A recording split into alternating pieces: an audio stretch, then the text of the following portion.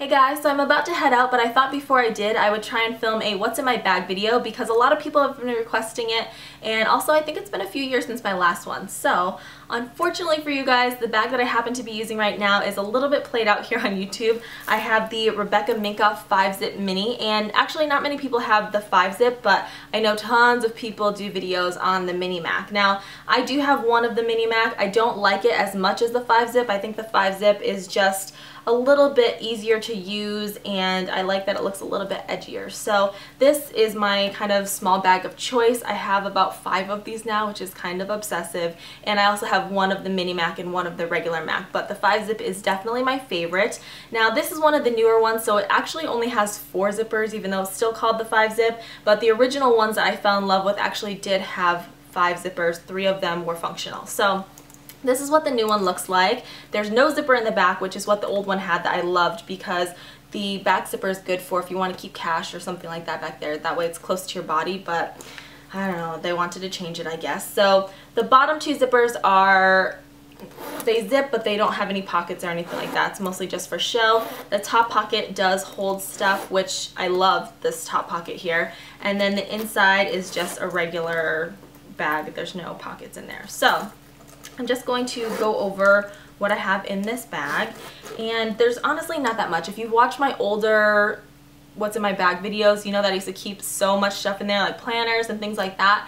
But before I used to pretty much only have one or two purses that I would use and wear with everything and now I find that I change my purse almost every day which is kind of terrible but I don't know, sometimes you need to wear different purses with different outfits or if you're doing different things. So I do change my purse pretty frequently now that I don't keep as much stuff in there. So the first thing that I have in here is my wallet. I always have to carry a wallet obviously and this one I don't think you guys have seen before. It's from Tory Burch and I absolutely love it. I don't see it on the website anymore but I was recently at Century City Mall at the Tory Burch there and they did have these in store. So if you are interested in something like this you may be able to find it at a location but not online. So the style of this is a French wallet if you're wondering. It's got a little button right here that closes it and then inside it has all of the slots for your cards and then a place for cash and then two little pockets under here.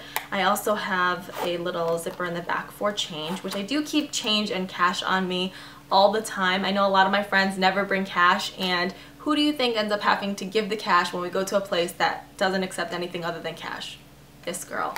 So it's very important to always keep cash on you because there are some places that don't accept cards for whatever reason or they will only accept cards over a certain balance. So like if you if your total is like over this amount you can use a card. But I always keep cash on me and I think also it's a lot easier. I'm not trying to put a dollar fifty on my debit card or whatever. So anyway I don't keep a ton of stuff like I said in this one because it's so small. But if I carry a larger purse I will sometimes carry two wallets. I'll carry my regular big Louis Vuitton one for all of my store cards and loyalty cards and stuff like that. But for the most part this is really all that I need. I have my keys which you guys have seen this before. I have the same keychain thing forever.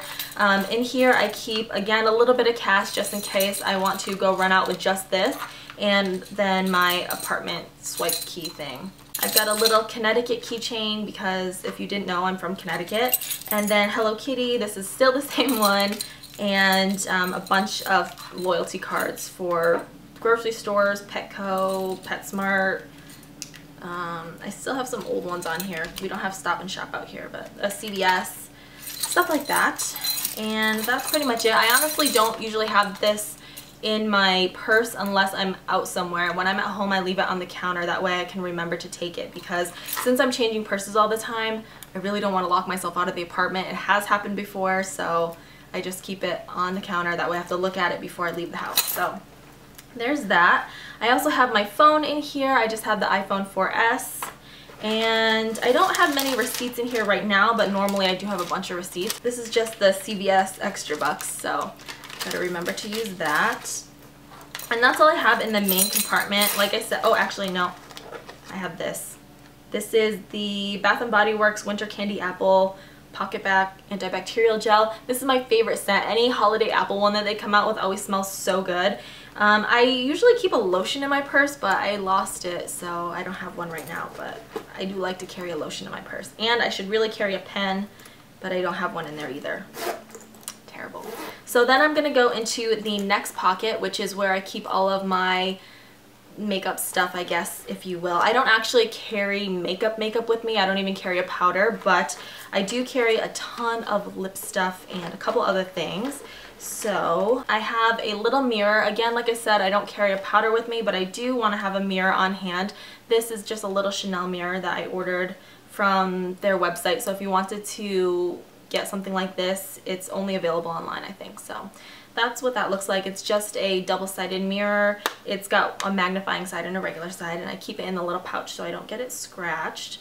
But I like carrying this. I guess it's, I mean, I think it's a little bit thinner than a compact, but I don't think it would hurt you to carry a compact in here if you wanted to, but I just, I don't know, I didn't want to carry like a brush and a powder and this and that and worry about it breaking, and I don't really touch up my makeup, so I just keep the mirror. The next thing I always have to have with me, these are the Clean and Clear oil absorbing sheets.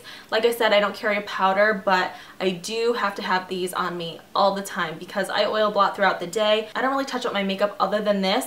I absolutely love these. I don't like to get the rice paper ones. I don't feel like they work quite as well, but if you're not familiar with these, they're just kind of this blue plastic and when you blot the oil, they turn kind of like clearish, which is kind of gross, but I feel like these work so well. So I always have that in my purse.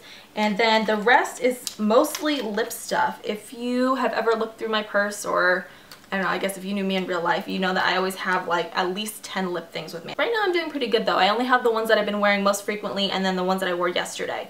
So first thing, actually I'll just get this out of the way. This is the Revlon Lash Glue. This is my favorite lash glue. I can't use ones that have latex in them anymore, so this is the best one that's non-latex that I found.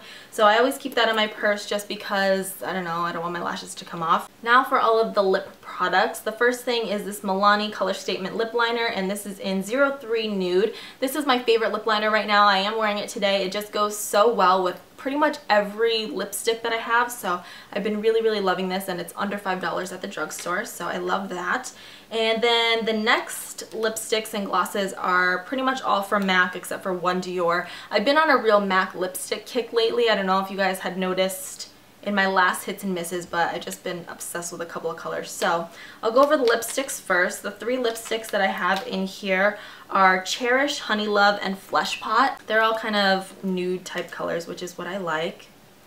So that's what they look like. I'm actually wearing, what am I wearing today? Oh no, I'm not wearing one of these today, but these are lipsticks that I kind of interchange throughout the day. And then I've got a couple of lip glosses. This one is the Stay Sweet lip gloss from the Archie's Girl collection. I don't normally have this in my purse, but I did try to wear it yesterday, so that's why it's in there. But the two lip glosses that I've been keeping with me pretty much all the time are Good Times from MAC, that's what I'm wearing today, and also Angel from MAC because I've been wearing this over Flesh Pot. So I love those two. And then the lipstick that I'm wearing today underneath the Good Times lip gloss is this one from Dior. This is my first Dior Addict lipstick, and this is number 214 Tulle and I really really like this. These feel really nice and I wanted to try it basically because Lisa Lisa Do1 had it and she really liked it and I hear a lot of good things about these. So far I really like this. It feels very nice like a lip balm. It's moisturizing and smooth and all of that. I don't know if I'd purchase it again because it is pretty expensive but I'll talk to you a little bit more about this in my hits and misses video. So that is everything that I keep in my bag and I'm sure you guys have seen this in Instagram pictures and stuff like that. I'm thinking about doing a blog post kind of a little bit more in detail showing you all of the ways that you can wear it and all of that because I do think that this is a really great bag and I don't think it's a bad price for what it is. I do change my bag pretty much every day so if you know of a bag that I have that you're interested in seeing what I would carry in it or what it can hold